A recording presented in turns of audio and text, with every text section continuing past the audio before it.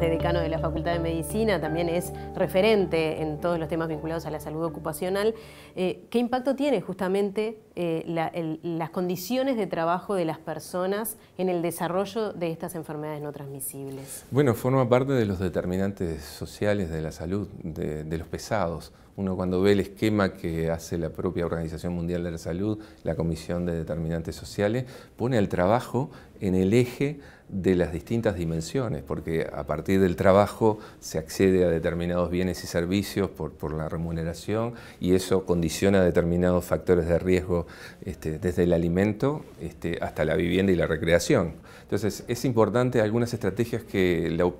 Organización